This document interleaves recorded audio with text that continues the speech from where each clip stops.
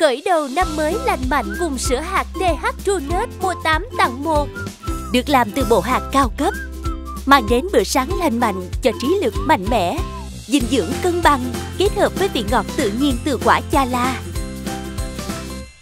Cho dáng đẹp eo thon. Chứa nhiều axit béo không bão hòa, Tốt cho tim mạch. Cho thể lực dẻo dai, Bộ sản phẩm TH True Nut hoàn toàn từ thiên nhiên.